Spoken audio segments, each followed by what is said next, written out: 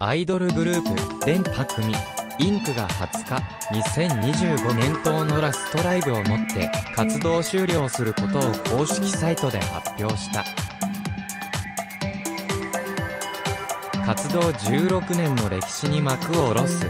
これを受け、元メンバーの西条もが、成瀬縁、相川梢、根本凪が X を更新し、思いを綴った。最上は、私は未だに自分がいた頃の6人の電波組が大好きで、それに代わる記憶なんてないし、最大の青春。本当はもっと頑張れたらと、当時何度も後悔したけど、いろいろメンバーが入れ替わったとしてもエンディングを迎えたとしてもあの頃の日々は変わらないから、寂しくないよ。